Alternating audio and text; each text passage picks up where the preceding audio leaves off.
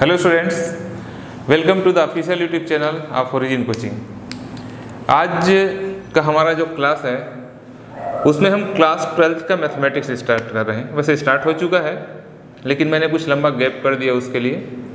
और आज हम ट्वेल्थ मैथ्स के क्लास को स्टार्ट कर रहे हैं। देखिए, इससे पहले कि मैं अपना टॉपिक स्टार्ट करूँ मैथ्स से रिलेटेड कुछ आपसे बात करनी है कि हमको मैथ्स कैसे पढ़ना है।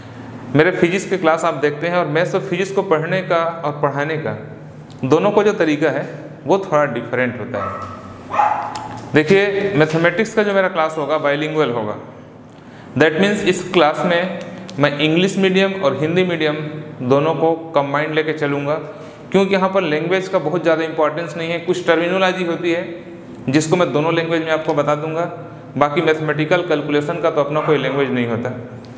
इस तरीके से बाइलिंगुअल होगा। वैसे मैं अपने ऑफलाइन क्लास में भी मेरा जो कोचिंग क्लास है, वहाँ पर बहुत लंबे समय से मैं मैथ्स के क्लास को कंबाइंड ही पढ़ाता हूँ। तो आपको ऐसा कोई प्रॉब्लम नहीं आएगा।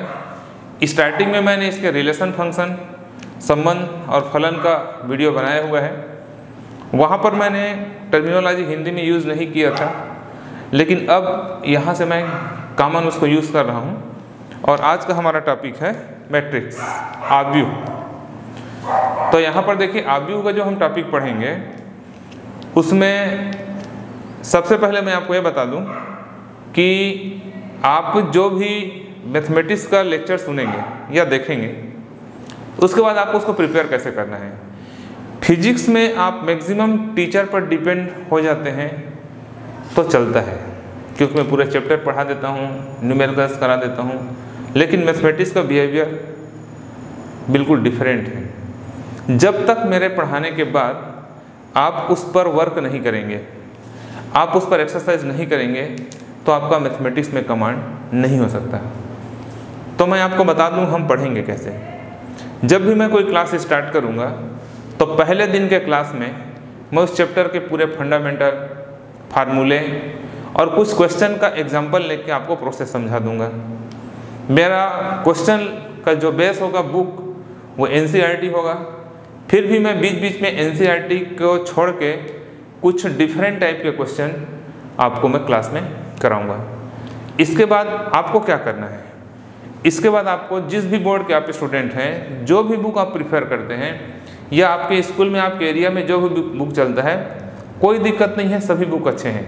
Actually mathematics is completely practice based subject it is completely depend on the practice of the students यह पूरा प्रैक्टिस पर बेस्ड सब्जेक्ट है। स्टूडेंट जितना ज़्यादा से ज़्यादा क्वेश्चन प्रैक्टिस करेगा, उसका कमांड उतना ही होगा, वो चाहे किसी भी बुक से करें। तो आप आप यदि कोई पर्टिकुलर बोर्ड की स्टूडेंट हैं या आपको कुछ इस तरह से तो आप मेरे से कमेंट्स बॉक्स में लिख के सजेशन ले सकते हैं। बाकी आप जिस भी बोर्ड के स्टूडेंट हैं या जो भी बुक चलता है, उसे आप प्रैक्टिस करिए। क्लियर तो इस तरह से हम पढ़ेंगे। और मैं कोशिश करूँगा कि मैं इतने कॉन्सेप्ट आपको बता दूँ और इतने वैरायटी के क्वेश्चन आपको बता दूँ कि बाद में जब आप अपने टेक्स्ट बुक से क्वेश्चन करें तो आपको कोई प्रॉब्लम ना हो। वैसे मेरा सजेशन है कि आप किसी भी बोर्ड के स्टूडेंट होंगे, आपको एन के क्वेश्चन ज़रूर करने चाहिए। N and R D Sharma यदि आप एन और आर डी शर्मा के बुक को प्रीफर करते हैं तो मैक्सिमम क्वेश्चन आपको ऑटोमेटिकली ऐसे ही कवर हो जाएगा। उसके बाद जब आई आई जेई के लेवल पर आप जाएँगे तो वहाँ पर कुछ डिफरेंट बुक आपको और कंसिडर कंसल्ट करना पड़ सकता है, लेकिन फ़िलहाल बेसिक के लिए ये सफिशियंट है। तो हम पढ़ते हैं मैट्रिक्स आब्यू मेट्राइसेस हिंदी में बोलते हैं आब्यू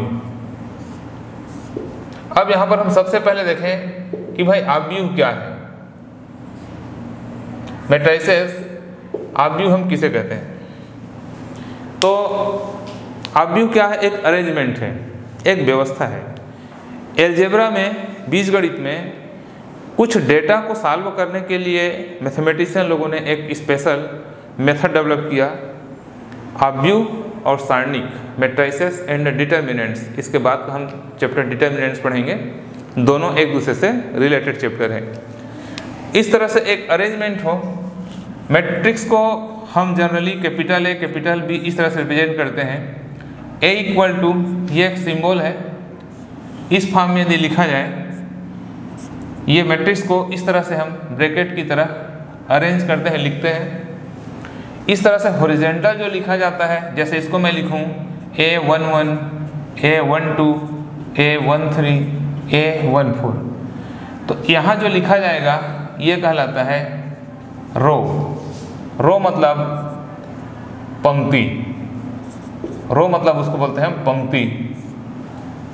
और यहाँ पर जो एलिमेंट होगा A two one A two two A two three A two four और यहाँ पर मैं लिख दूँ तो A three one A three two A three three A three four यहाँ पर आप देख रहे हैं कि इस तरह से जो हॉरिजेंटल लिखा जाता है, क्षैतिज लिखा जाता है, उसको हम रो बोलते हैं, पंक्ति बोलते हैं, और इधर जो लिखा जाता है, इस तरह से उसको कालम माने स्तंभ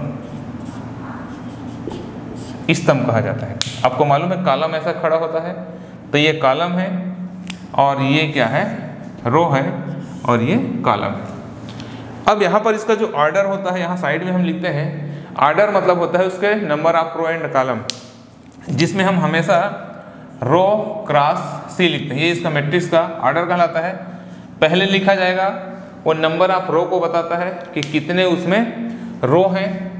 और बाद में जो लिखा जाता है, वो नंबर ऑफ़ कॉलम को बताया जाता है। जैसे बताता है, जैसे इस मैट्रिक्स में आप देखिए तो क्या है? नंबर ऑफ़ रो रो कितने हैं? वन टू थ्री तो यह जाएगा थ्री क्रॉस और कॉलम कितने हैं? वन टू थ्री फोर तो यह हो जाएगा थ्री क्रॉस फोर इस तरह से ये हमारा जो मैट्रिक्स मैंने एग्ज़ाम्पल लिखा है, वो थ्री क्रॉस फोर ऑर्डर का क्या है? आब्यू है. क्लियर मैट्रिक्स है. क्लियर यहाँ तक? अब यहाँ पर इसके एलिमेंट्स की आइडेंटिटी आप देखिए. जैसे यहाँ पर लिखा हुआ है A two three A two three A two three का मतलब क्या है? कि यह जो एलिमेंट है, वह सेकंड रो, दूसरा रो और तीसरे column one, two one, two, three का एलिमेंट है। इस तरह से कोई भी एलिमेंट, कोई भी जो अवयव होता है, वह अपनी एक आइडेंटिटी रखता है, अपना एक पहचान रखता है कि मैं कहाँ पर हूँ। हम उसके रो और कॉलम को बता दें तो हम उस मैट्रिक्स में उसको आइडेंटिफाई करके बता सकते हैं कि वह कहाँ पर का एलिमेंट है।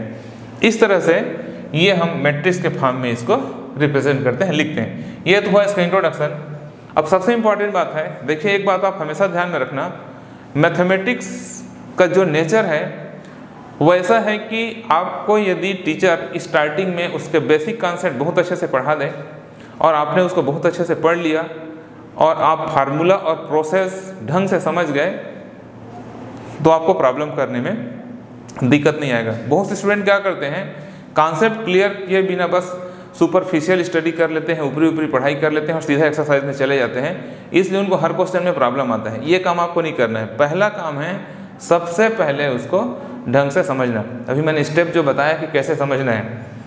ये मैं इसका इंट्रोडक्शन बताया। अब क्या है? मैट्रिक्स के टाइप आब्यू के प्रकार।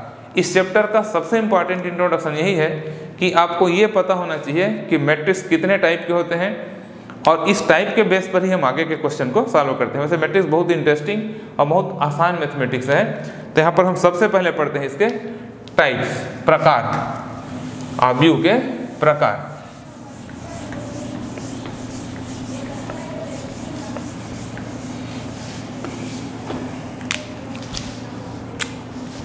अब मैट्रिक्स के टाइप्स टाइप्स ऑफ़ मैट्रिक्स तो मैं वन बाई वन इसके टाइप्स को एक्सप्लेन कर रहा हूँ और आप उसको बस समझते जाइए कि किस तरह से उसके टाइप्स होते हैं, उसके क्या क्या प्रॉपर्टीज़ होती है। क्लियर तो सबसे पहले रो मैट्रिक्स इसको मैट्राइसिस को मैट्रिक्स भी कहा जाता है। हिंदी में बोलेंगे रो माने पंक्ति।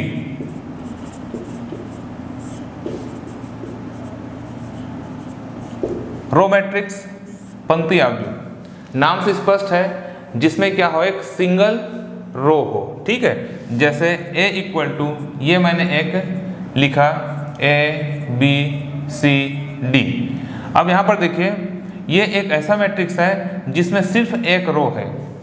जिसमें सिर्फ़ एक पंक्ति है, इसलिए हमको क्या कहेंगे इसको? रो मैट्रिक्स कहेंगे। क्लियर जिसमें सिंगल रो हो सेकंड रो ना हो। कॉलम तो कितने भी हो सकते हैं, लेकिन रो एक ही हो, इसको हम क्या बोलेंगे? रो मैट्रिक्स कहेंगे। सेकंड कॉलम मैट्रिक्स स्तंभ आव्यू तो नेचुरली आपको नाम से स्पष्ट आएगा ये सपोज़ ए बी सी यहाँ पर आप देखो यहाँ पर क्या है कॉलम मैट्रिक्स है, जिसमें सिंगल कॉलम हो। जिसमें सिंगल रो हो रो मैट्रिक्स है, जिसमें सिंगल कॉलम हो, वो कॉलम मैट्रिक्स है। बहुत आसान है, बस कुछ टाइप ऐसे हैं जिसको आपको थोड़ा समझना पड़ेगा।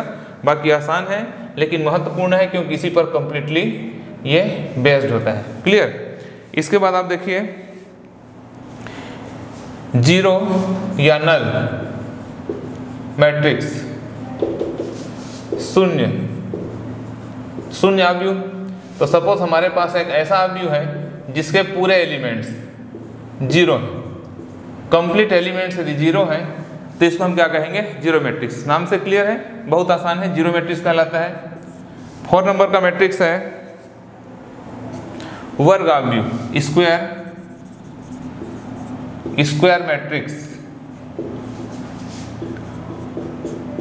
वर्ग आव्यू तो वर्ग आव्यू मतलब क्या हो? जो स्क्वायर फॉर्म में हो।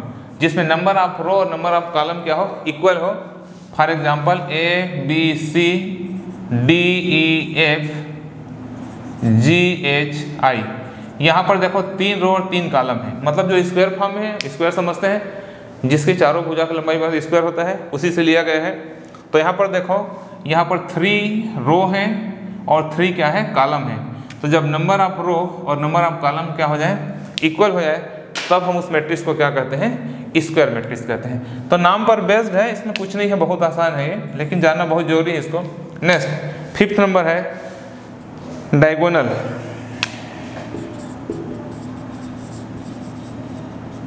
डायगोनल मैट्रिक्स विकर्ण आव्यू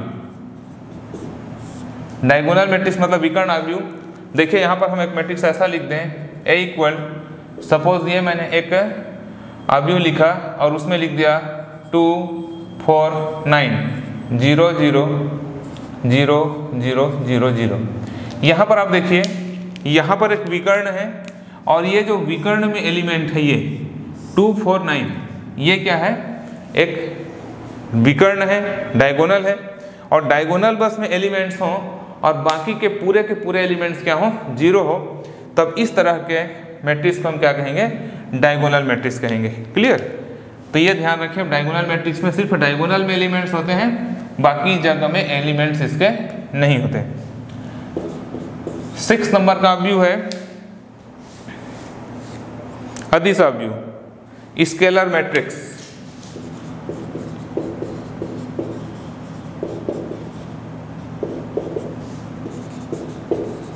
अदिश आव्यू अदिश आव्यू क्या है? एक डायगोनल मैट्रिक्स ही है, यही है। देखिए यहाँ पर यदि मैं पूरे एलिमेंट्स को फोर फोर फोर ये लिख दिया, और बाकी सब क्या है? ज़ीरो ज़ीरो दोनों में आप डिफरेंस देखिए। ये भी डायगोनल मैट्रिक्स है, ये भी डायगोनल मैट्रिक्स है, लेकिन दोनों में अंतर क्या है कि इसके डायगोनल में जो एलिमेंट्स होंगे, वो कांस्टेंट हो फिक्स हो। जैसे यहाँ पर मैंने लिखा है टू फोर नाइन लेकिन यहाँ पर लिखा है मैंने फोर फोर फोर। तो ऐसा मैट्रिक्स जिसके डायगोनल में समान इक्वल एलिमेंट्स हों सेम एलिमेंट्स हों, वो क्या कहलाता है? स्केलर मैट्रिक्स या हिंदी में क्या कहलाता है? अदिश आव्यू कहलाता है। क्लियर दोनों में डिफरेंस आप समझ गए? इसके बाद अपन देखते हैं। सेवन नंबर का मैट्रिक्स सेवन नंबर का मैट्रिक्स है यूनिट मैट्रिक्स या आइडेंटिटी ये बहुत इंपॉर्टेंट है। यूनिट आर आइडेंटिटी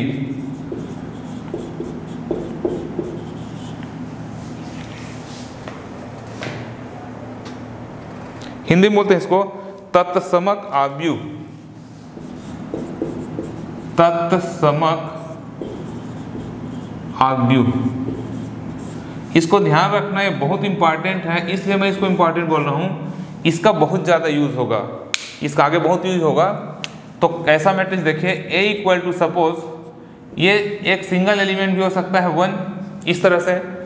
या सपोज़ टू एलिमेंट हो तो वन ज़ीरो ज़ीरो वन इस तरह से हो टू एलिमेंट्स का।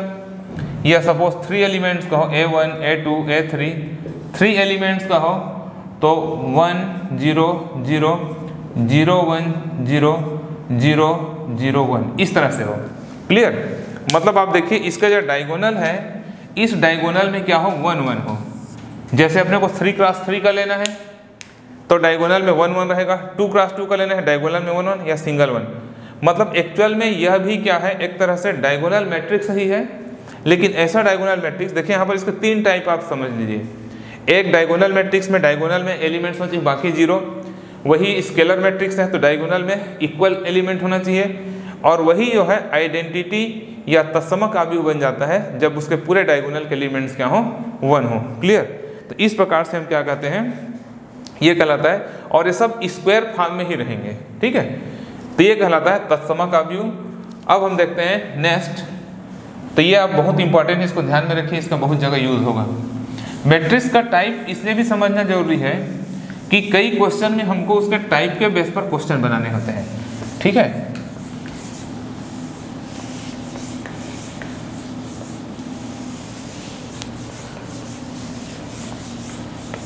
Next type is at horizontal.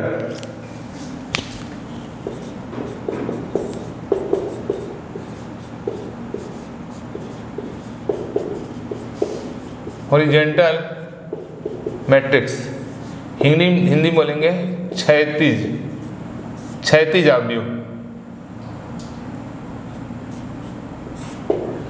क्षैतिज आव्यूह का क्या मतलब है, जिसमें हॉरिजेंटल इस तरह से लिखा जाए, देखो ए इक्वल एक मैट्रिक्स में यहाँ पर लिखता हूँ one two three four five six seven eight nine ten अब इस मैट्रिक को आप देखिए, ये हॉरिजेंटल फॉर्म मतलब यहाँ पर number of row number of row कितने हैं? वन टू और कॉलम कितने हैं? One two three four five तो नंबर ऑफ़ जो रो है, वो कम हो किससे? नंबर ऑफ़ कॉलम से। मतलब ऐसा मैट्रिक्स जिसमें रो की संख्या कम हो और कॉलम की संख्या ज़्यादा हो। और देखने से पता चल जाता है, देखिए होरिजेंटल क्षैतिज रूप में है। ये क्या कहलाता है? होरिजेंटल मैट्रिक्स कहलाता है और इसका जस्ट अपोजिट होता है वर्टिकल वर्टिकल मैट्रिक्स इसको बोलेंगे ऊर्ध्वाधर। ऊर्ध्वाधर अब ये क्या होता है? ठीक इसका उल्टा। जैसे मैंने इस तरह से एक मैट्रिक्स बनाया। One two three four five six seven eight यहाँ पर आप देखिए कि नंबर ऑफ़ रो कितने हैं? One two three four number of row four है और कॉलम क्या है? टू तो ये क्या हो? रो ज़्यादा हो। यदि रो कम हो कॉलम से तो हॉरिजेंटल मैट्रिक्स कहलाता है। रो कम हो कॉलम से। और रो ज़्यादा हो कॉलम से तो ये वर्टिकल वर्टिकल फॉर्म में है, वो ऑब्जर्वेशन से पता चल जाता है। बहुत ज़्यादा इंपॉर्टेंट नहीं है, कहीं कहीं पर, लेकिन आपको मैंने पहले ही बता दिया कि बेसिक फंडामेंटल जितना अच्छा हो सके वो क्लियर होना चाहिए। दैट नेक्स्ट टेन नंबर का मैट्रिक्स है। ट्राइंगुलर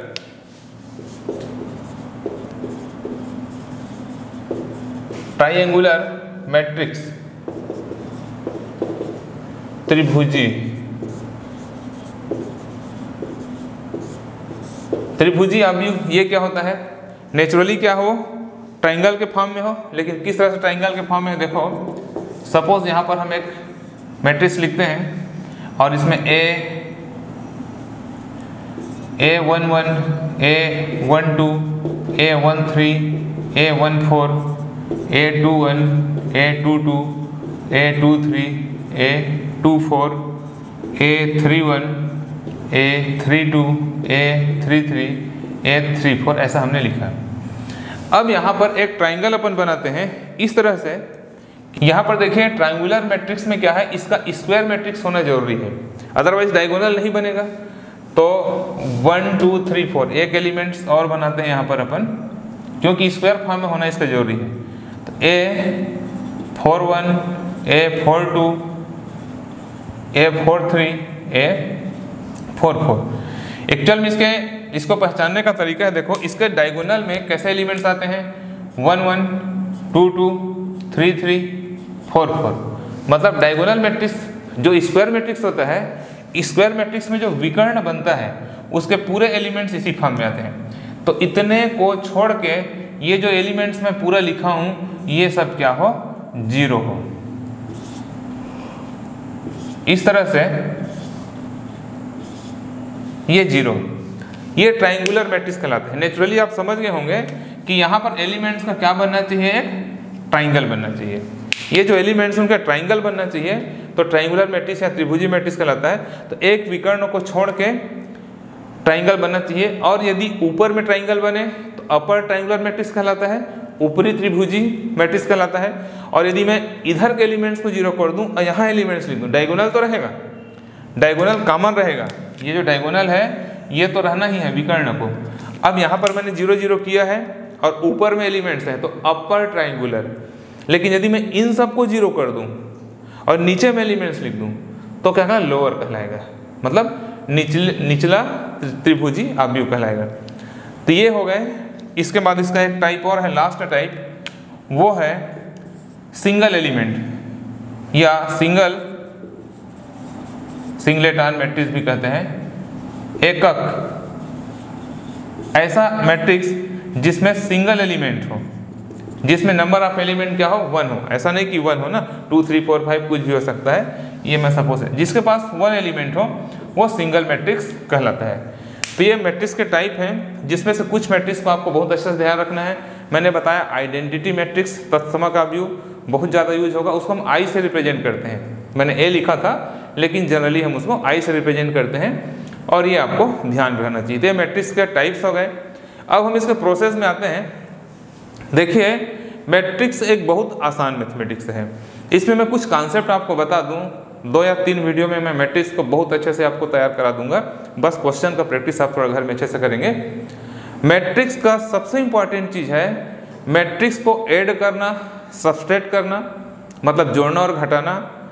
और मैट्रिक्स का मल्टीप्लिकेशन मैट्रिक्स का मल्टीप्लिकेशन सबसे इंपॉर्टेंट चीज़ है। मैं सिंगल वर्ड में बोलूँ तो यदि किसी स्टूडेंट्स को आव्यूह का यदि गुणा करना आता है मल्टीप्लिकेशन आता है तो वह मैट्रिक्स का सब चीज़ जानता है। उसका वजह उसको कहीं कोई प्रॉब्लम नहीं है। तो आज मैं यहाँ पर आपको एडिशन मैंने जोड़ना सब्सट्रैक्शन मतलब घटाना और उसको मल्टीप्लिकेशन करना, उसको गुणा करना। ये तीनों चीज़ मैं आज आपको सिखा देता हूँ उसके बाद फिर नेक्स्ट वीडियो में हम लोग इस पर बेस्ड क्वेश्चन करेंगे। मैं आपको बार बार ये बात बता दूँ कि मैथमेटिक्स का मेरा जो क्लास है, थोड़ा अलग टाइप का चलेगा। पहले वीडियो में आप मेरे कॉन्सेप्ट देखेंगे और सेकंड वीडियो में आप उसके क्वेश्चन के एक्सरसाइज देखेंगे। ये दो काम देखने के बाद तीसरा आपका काम है कि घर में आप उसका एक्सरसाइज करेंगे। यदि इस प्रॉपर प्रोसेस पर आप चलेंगे तो आपको कोई प्रॉब्लम नहीं होगा, ठीक है? तो अब हम इसके प्रोसेस में आते हैं। मैट्रिक्स ऑपरेशंस मैट्रिक्स पर प्रोसेस जिसमें इनको जोड़ना। फ़र्स्ट हम देखते हैं आप व्यूहों का योग।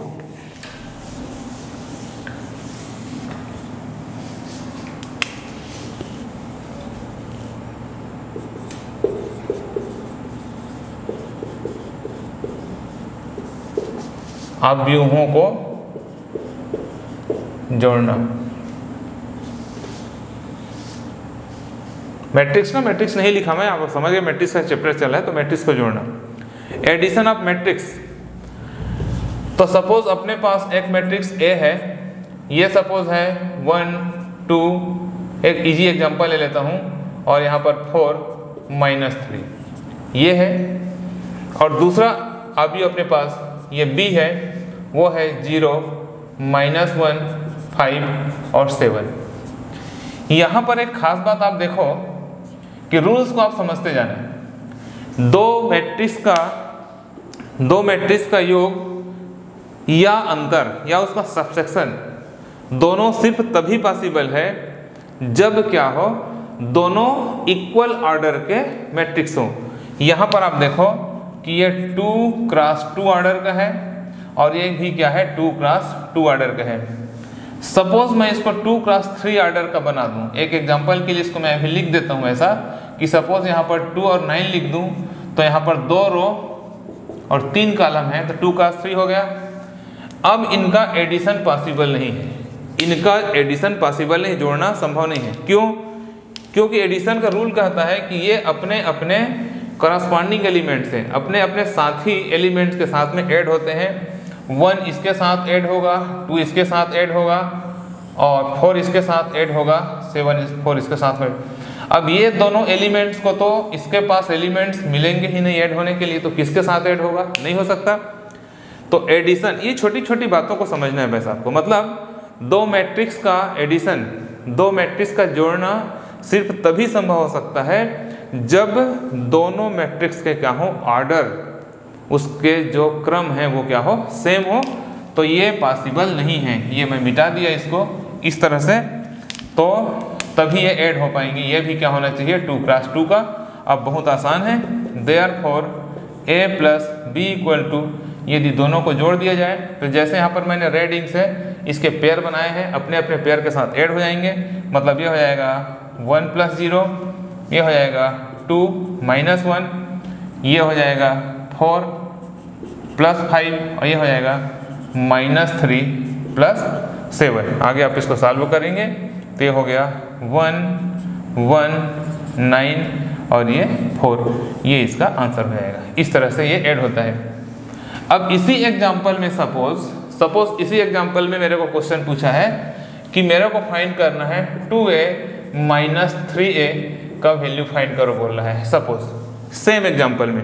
अभी तो मैंने ए प्लस बी फाइंड किया है, लेकिन मेरा क्वेश्चन कहता है कि two A minus three B ना? सॉरी दूसरा तो बी है।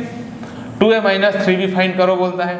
तो यहाँ पर हम कांस्टेंट का मैट्रिक्स के साथ में मल्टीप्लाई कैसे करते हैं? आप ये समझिए सबसे पहले।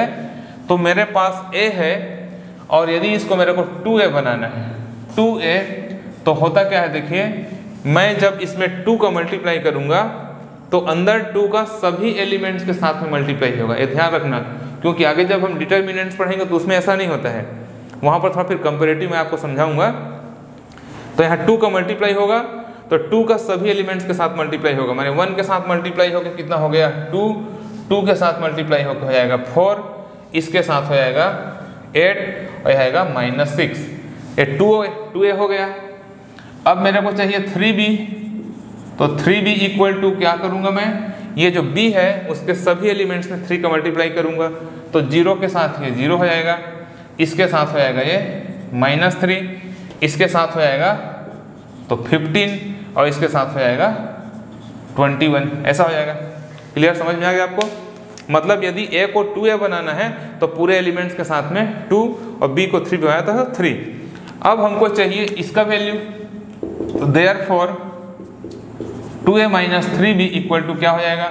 टू ए का वैल्यू लिखो। Two four eight minus six और बाहर ये माइनस यहाँ पर मैं आपको एक साथ समझा देता हूँ addition and subtraction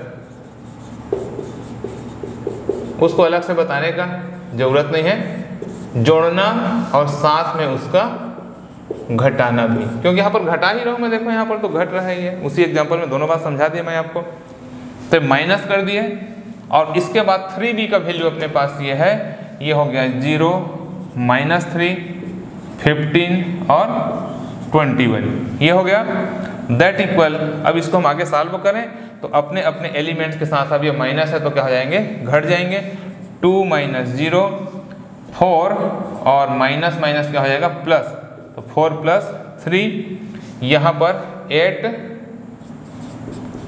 minus fifteen और यहाँ पर minus six plus twenty one that equal इसको हम सॉल्व करें तो हो two four plus three seven, और यहाँ पर हो जाएगा माइनस सेवन, और यहाँ पर सिक्स माइनस हुआ इसमें तो ये हो गया फिफ्टीन। ये ये इसका आंसर हो जाएगा। तो आप यहाँ पर देखो कि किस तरह से इसको ऐड और सब्सट्रैक्ट किया जाता है, और ये कांस्टेंट का मल्टीप्लाई करना, किसी भी मैट्रिक्स के साथ किसी कांस्टेंट को मल्टीप्लाई करना है तो पूरे एलिमेंट्स में उसका हम मल्टीप्लाई करते हैं। दैट मीन्स बहुत आसान है, इसमें कुछ नहीं है। तो ये हो गया मैट्रिक्स का एडिशन सबसेक्शन अब मैं आपको सिखा दूँ मैट्रिक्स का कंस्ट्रक्शन कि उसका हम निर्माण कैसे करते हैं। मैट्रिक्स का निर्माण।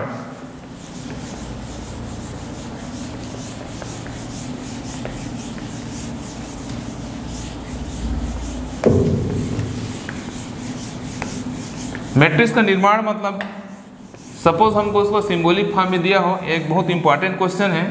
इसमें से क्वेश्चन प्राय बोर्ड एग्ज़ाम में आता है। और मैं एक एग्ज़ाम्पल के हेल्प से आप इसको समझा दूँ कि इसका कंस्ट्रक्शन कैसे करते हैं। कंस्ट्रक्शन ऑफ़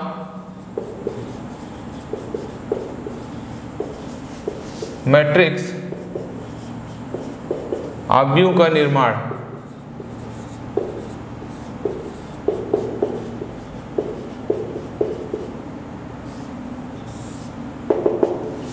आव्यूह का निर्माण करने के लिए मैं यहाँ पर एक एग्ज़ाम्पल लेता हूँ। इस एग्ज़ाम्पल की सहायता से मैं आपको समझाऊँ कि किस तरह से आव्यूह का निर्माण करते हैं। Suppose A I J equal ऐसा क्वेश्चन आपको देगा। A I J equal three I plus J upon two three I plus J upon two A आपको दिया रहेगा और आपको आव्यूह का निर्माण करना है। थ्री क्रॉस टू मतलब ए थ्री क्रॉस टू का आपको क्या करना है? ये निर्माण करना है। देखिए, इस तरह से कैसे इस क्वेश्चन को बनाया जाता है? क्वेश्चन आपको समझ में आ गया? ये दिया हुआ है।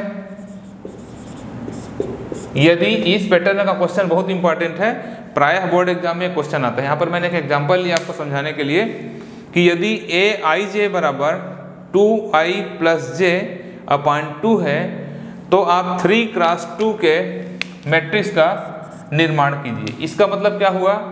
इसका मतलब ये हुआ कि इसका मैक्सिमम ये आई का वैल्यू है आई इक्वल टू थ्री ये आई का वैल्यू थ्री है, जो कि रो है। जो पहले नंबर में रो लिखा जाता है तो रो इक्वल टू थ्री और कॉलम इक्वल टू टू है। तो थ्री रो टू कॉलम का मैट्रिक्स का आपको निर्माण करना है। मतलब यदि यहाँ पर मैं मैट्रिक्स को इस फॉर्म में लिख दूँ तो A three two equal to आपको कैसा मैट्रिक्स चाहिए? Three cross two three cross two का मैट्रिक्स चाहिए मतलब रो किसमें कितने होने चाहिए इसमें? तीन। ये तीन रो होने चाहिए। तो ये ए वन वन और ए वन टू तो कालम तो दो ही चाहिए तो कालम छोड़ दिए। इसके बाद A two one A two two इसके बाद A three one A three two naturally आपको ऐसा मैट्रिक्स चाहिए। देखिए, ये जो मैट्रिक्स मैं बनाया हूँ, ये क्या हो गया?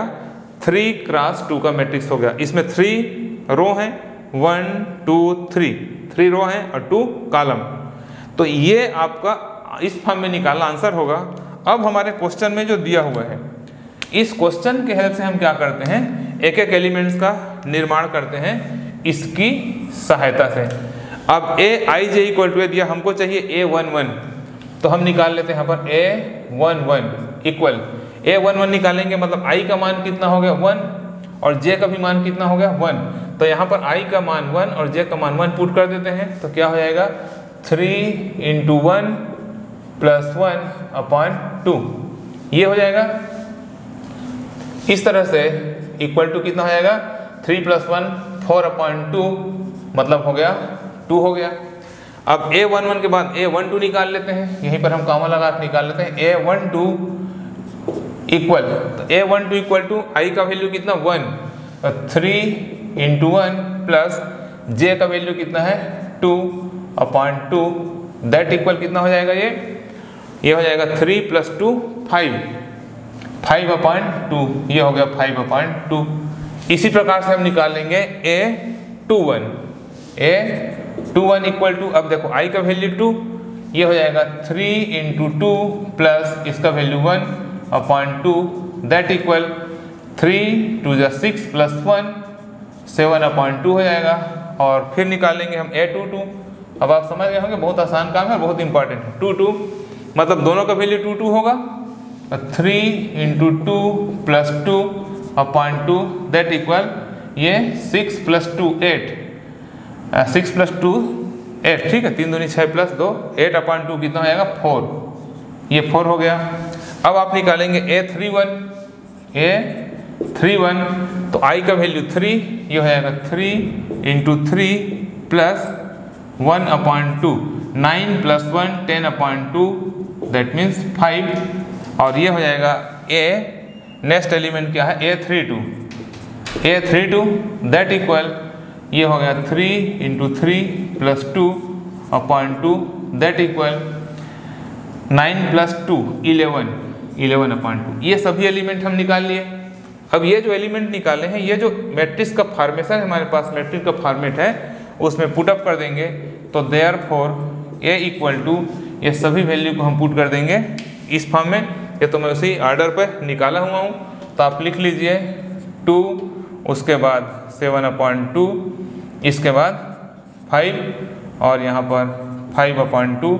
Next element, four और इलेवन अपॉइंट टू ये थ्री क्रॉस टू का आपका मैट्रिक्स का कंस्ट्रक्शन होएगा। क्लियर इसका आंसर है two seven by two five five by two four eleven by two clear तो यहाँ पर मैं इसको कैसे बनाया? देखिए एक बार रिपीट करता हूँ आपको। ये कंस्ट्रक्शन ऑफ़ मैट्रिक्स हाबिव का निर्माण करना आपको इस तरह से एक कंडीशन देगा कि ए आई जे इक्वल टू इतना है तो इतने ऑर्डर का आपको मैट्रिक्स बनाना तो सबसे पहले आप रो और कॉलम को सेलेक्ट कर लीजिए। कितना मुझे रो चाहिए, कितना कॉलम चाहिए। इस प्रकार से रो और कॉलम अरेंज करके आई और जे के डिफरेंट डिफरेंट वैल्यूज़ को पुटअप करके आप पूरे एलिमेंट्स निकाल के मैट्रिक्स निकाल सकते हैं। तो बहुत आसान है ये। और इस तरह के क्वेश्चन आप बुक में आपको मिलेगा। और आप उसको प्रैक्टिस करिए, ये बहुत ज़्यादा एग्ज़ाम में आता है। क्लियर अब हम देखते हैं प्रोडक्ट प्रोडक्ट ऑफ़ मैट्रिक्स जो मैट्रिक्स का सबसे इंपॉर्टेंट टॉपिक है। क्लियर प्रोडक्ट ऑफ़ मैट्रिक्स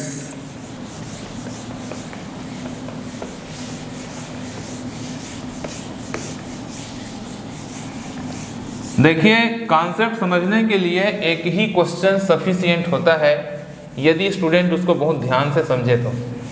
और कॉन्सेप्ट आपको एक बार क्लियर हो गया।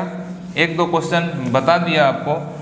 उसके बाद आप बाकी क्वेश्चन बहुत ध्यान से कर सकते हैं। मैथमेटिक्स में कमांड का एक ही फंडा है प्रैक्टिस टीचर के पढ़ाने के बाद यदि आपने प्रैक्टिस नहीं किया तो फिर क्या होगा आपको? प्रॉब्लम हो जाएगा, ठीक है?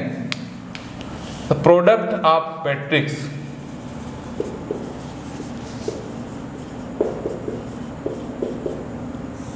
आव्यू का गुणा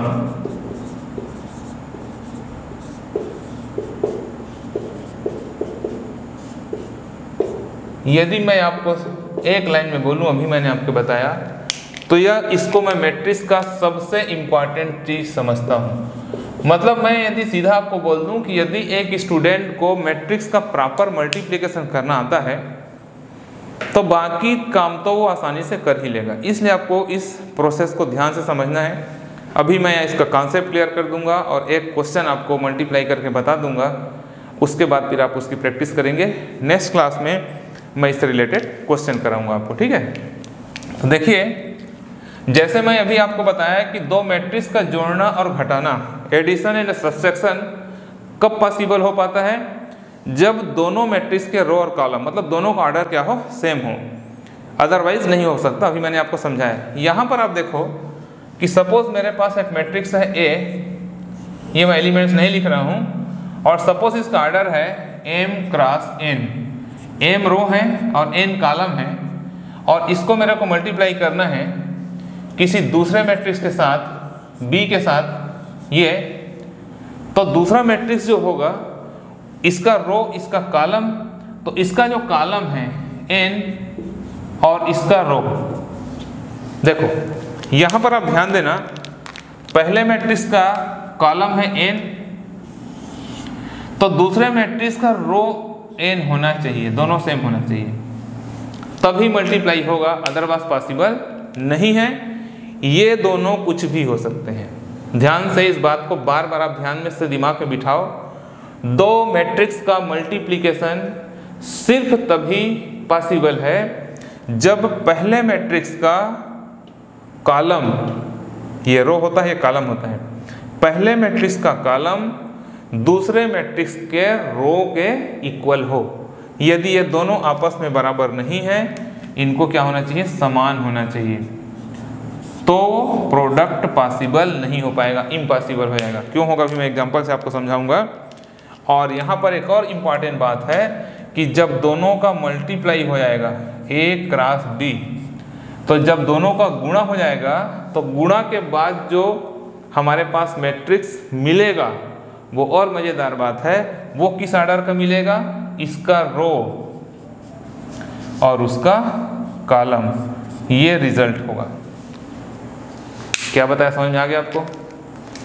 दो मैट्रिक्स का मल्टीप्लिकेशन सिर्फ़ तभी संभव है जब पहले का कॉलम दूसरे के रो के समान हो, बराबर हो, और जब दोनों का गुणा हो जाता है तो दोनों के गुणा होने के बाद जो रिज़ल्ट आता है, जो परिणाम आता है, वह पहले के रो और दूसरे के कॉलम के ऑर्डर में आता है। ये बात आप नोट करके रखिए ध्यान से। अब मैं इसका एक आपको एग्ज़ाम्पल बताता हूँ और एग्ज़ाम्पल के हेल्प से आपको समझाता हूँ कि कैसे इनका प्रोडक्ट होता है। क्लियर तो देखिए,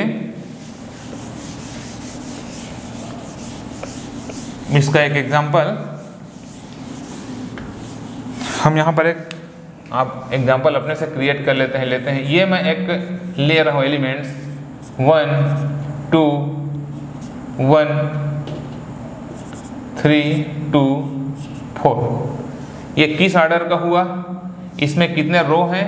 टू और कॉलम कितने हैं? थ्री क्लियर और मैं एक ले रहा हूँ बी यहाँ पर ले रहा हूँ। इस तरह से नेचुरली आपको पता है, अब इसमें कितने होने चाहिए? थ्री। और मान लो मैं थ्री क्रॉस थ्री का ले लेता हूँ मैं। यहाँ पर थ्री क्रॉस थ्री का ले लेता हूँ। तो यहाँ पर थ्री रो थ्री कॉलम। ये suppose zero, four, two, three, one, five, six, two, four. ऐसा मैंने ले लिया। कुछ एलिमेंट्स ले लिया। अब आप देखिए। अब इनका प्रोडक्ट पॉसिबल है कि नहीं? पॉसिबल है? कैसे पॉसिबल है? पहले आप चेक करोगे। ये थ्री है तो इसको थ्री होना चाहिए। है तो इसका प्रोडक्ट पॉसिबल है। अब रिज़ल्ट क्या आएगा? रिज़ल्ट को आपको पहले से ही ध्यान में रखना चाहिए। अब इसका मैं दोनों का गुणा करूँगा। देयर फॉर ए क्रॉस बी ये मैं बॉक्स बना लिया इसके लिए। और नेचुरली बॉक्स बड़ा बनाया तो थोड़ा आराम से समझाऊँगा इसको मैं, देखो। ये दूर तक बना लिया चलो। ये। अब इसका रिज़ल्ट क्या आएगा? पहले से डिसाइड कर लिए रहो। करने से पहले, ताकि मिस्टेक ना हो। तो रिज़ल्ट क्या बताया मैं? टू दो रो आएँगे उसमें और तीन कालम आएगा। मतलब रिज़ल्ट टू क्रॉस थ्री का आएगा इसका। गुणा करने के बाद। अब इसको मल्टीप्लाई करने के दो तरीके हैं। एक तो रो का कालम के साथ या कालम का रो के साथ। आप कई तरीके से करेंगे तो कंफ्यूज हो जाएँगे। इसलिए मैं जो तरीका आपको समझा रहा हूँ, उसको एक बार आप एडाप्ट करेंगे। सुनो, कैसे करते हैं? मैं इसके कालम को लिया। जब मैं इसके कालम को लूँगा, क्लियर? इस तरह से या ऐसा लो। एक तरीका आपको समझाता हूँ, उसी को आप ध्यान में रखो। सबसे पहले क्या करो, पहले मैट्रिक्स का आप रो को ले लो। रो और कालम का ऑपरेशन ठीक रहता है। ये रो को ले लिया, जो रेडिंग से मैं बाक्स किया, ध्यान दीजिए ना। और इसके कालम को लिया। ये। क्लियर पहले का रो लिया, दूसरे का कालम लिया। या पहले का कालम दूसरे का रो भी ले सकते हैं तो भी चलेगा। तो ये मैं ले लिया, पहले का रो, दूसरे का कालम अब इन लोग अपने अपने कॉरस्पॉन्डिंग एलिमेंट्स के साथ में मल्टीप्लाई होंगे। पहले सब समझ में आ गया मैं? पहले का रो लिया, दूसरे का कॉलम को लिया। और मल्टीप्लाई कैसे कैसे होंगे देखिए। इसका मल्टीप्लीकेशन होगा इस एलिमेंट के साथ। मतलब ये हो जाएगा one into zero one into zero plus इसके सेकंड एलिमेंट का, इसके सेकंड एलिमेंट के साथ में मल्टीप्लाई होगा। मतलब टू इंटू थ्री क्लियर और प्लस इसके तीसरे का, इसके तीसरे के साथ होगा। वन इंटू सिक्स तो पहला आपको समझ में आ गया? अब इंपॉर्टेंट बात यहाँ पर यह है कि अब मैं क्या करूँ? इसके रो को बदल दूँ और उसके कालम को वही रखूँ। मतलब अब मैं रो को ये हटा दूँ, ये ले लूँ, लेकिन कालम वही रहेगा। तो अब जब इन दोनों का मल्टीप्लाई होगा तो यहाँ पर स्टूडेंट को बहुत कंफ्यूजन होता है कि अब उसको यहाँ पर लिखें कि यहाँ पर लिखें। इसको मैं थोड़ा और बड़ा बना देता हूँ ज़्यादा जगह का ज़रूरत पड़ेगा। बाद में मैं इसको क्रॉस कर लूँगा। क्या बोला? ध्यान से समझिए। इसका रो और इसका कॉलम को ले रहा हूँ मैं। तो जो गुणा करूँगा, उसको यहाँ पर लिखूँ मतलब रो में लिखूँ कि कालम में लिखूँ। मैक्सिमम स्टूडेंट यहाँ पर कंफ्यूज हो जाते हैं। तो इसको याद करने का तरीका है, आप चेंज किसको कर रहे हो? आप रो को चेंज कर रहे हो। तो रो को चेंज करोगे तो रो में लिखाएगा वो। कॉलम को चेंज करोगे तो कालम में लिखाएगा तो हमको अब उसको कहाँ पर लिखना है? नेचुरली यहाँ पर लिखना है। मल्टीप्लाई करिए। किसका? थ्री का। ज़ीरो के साथ multiplication three class zero two का। थ्री के साथ। देखो, इसमें बहुत ज़्यादा दिमाग लगाने का काम नहीं है। अलर्ट रहने का काम है। ये सावधानी का काम है। मैट्रिक्स और डिटर्मिनेंट्स एक ऐसा मैथमेटिक्स है जहाँ पर बहुत टैलेंट नहीं। थोड़ा केयरफुल माइंड चाहिए। आप थोड़ा सा उसको लापरवाही से मत करिए। ध्यान देके करिए। अब इसका फोर के साथ सिक्स का मल्टीप्लाई होगा तो फोर इंटू क्या हो जाएगा? सिक्स हो गया। क्लियर तो ये हमारा काम कंप्लीट हो गया। अब हम पुनः, अब हम पुनः इस काम को कंप्लीट करेंगे। मैं समझाने के लिए इसको बाक्स में घेर रहा हूँ ना, आप ऐसा नहीं घेरेंगे। अब मैं पुनः अपने फ़र्स्ट रो में आ गया और यहाँ पर अब मैं कालम को चेंज कर दिया। अब इस कॉलम में आ गया। तो यहाँ पर भी अब कालम चेंज हो जाएगा। देखिए, अब यहाँ मल्टीप्लाई कैसे होगा? यही काम कर रहे हैं, बस आप समझ रहे होंगे।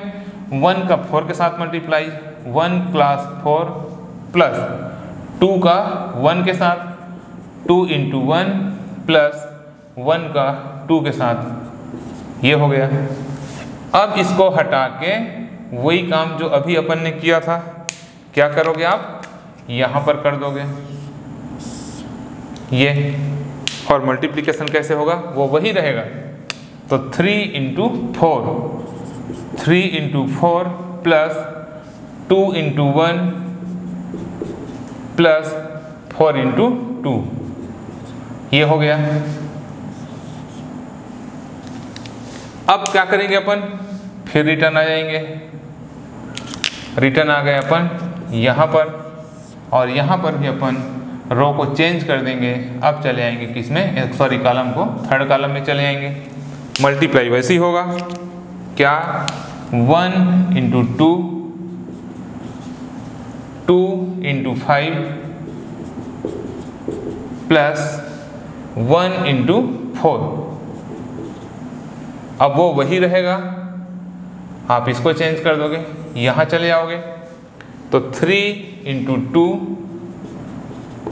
plus two into five plus four into four देखिए, अभी आपको थोड़ा डिफ़िकल्ट ज़रूर लग रहा होगा, लेकिन प्रैक्टिस में आने के बाद ये बहुत आसान काम है, इसमें कुछ भी रखा हुआ है।